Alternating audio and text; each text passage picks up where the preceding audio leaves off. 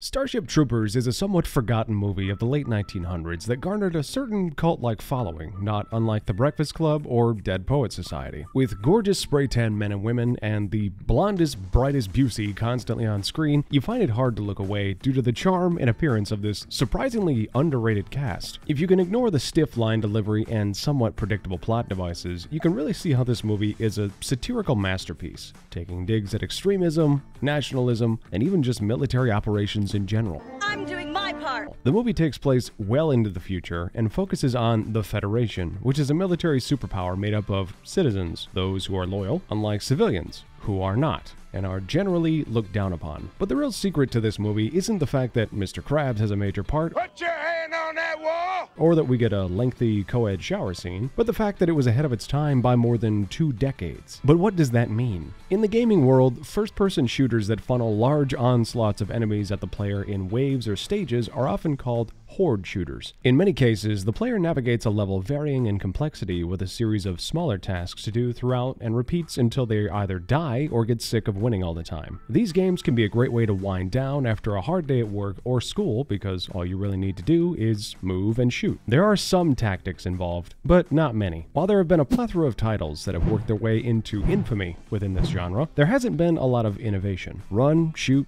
loot. Run, shoot, loot. It's the same legacy titles we all grew to love, which is fine, but after a while, there's not much left to do, and in many cases, these games get played for a few hours or even days, and then go back on the shelf to collect dust until you feel the itch to shred some zombies or cops or headless dudes with bombs in their hands. That is, until Helldivers 2 came along. Without Starship Troopers, Helldivers 2 is just another horde shooter with a few quirks. Another Left 4 Dead, another Nazi Zombies, or Payday 2. Without the movie, no one can appreciate the lengths to which developers went to create such a game. Helldivers 2 has been the hot topic as of late, and justifiably so. Simply put, it's a modern dynamic horde shooter that nerfs the meta in the name of keeping things interesting. It even comes with a dedicated dungeon master. Yes, the developers over at Arrowhead went so far as to give one man authority over the fate of the entire Helldivers 2 universe. Hi, Joel. But let's not get ahead of ourselves. How does this all tie into Starship Troopers? I'm glad you asked. When playing Helldivers 2, you are a citizen of Super Earth, whose sole job is to help defend the galaxy from being overrun by roided up T 1000s called automatons, and these disgusting yet overwhelming bugs called Terminids. Both enemies are attacking different sections of the galaxy, and your job is to liberate each planet and instill managed democracy Democracy.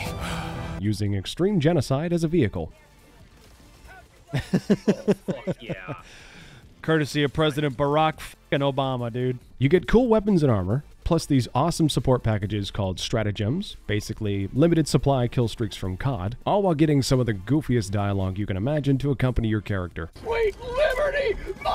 Oh, also, you're super expendable. Like, you don't even see your character's face. I've heard that's so you don't get attached in any way, but I could be wrong. Instead, you name your ship something awesome and spend time grinding to unlock better weapons and armor. Did I mention you don't technically need to buy the Battle Pass? Actually, there's two of them, but you can use the earned currency from the one to buy the other. But more on that later. If this game didn't have Starship vibes, it likely wouldn't have taken off with any of the memes, nor developed the cult following that it did. People love this game. I love this game. It has a certain charm that's so over the top it's irresistible. But with audiences primed by a babyface Neil Patrick Harris and a still bald Dean Norris, they're conditioned to love it even more. That is, until the sweats found out about it. Shortly after release, these unemployed mouth breathers started demanding the developers add a PvP mode, to which the developers told them kindly to kick rocks. PvP in a game like this would spell trouble because it would distract from the main point cooperative liberation in the name of democracy. Don't we already have enough average FPS games? I mean, yes, we have some neat takes on existing genres like the Finals twist on Arena BRs, but then we have stuff like CS2, which is really just updated CSGO. We have Valorant, which is basically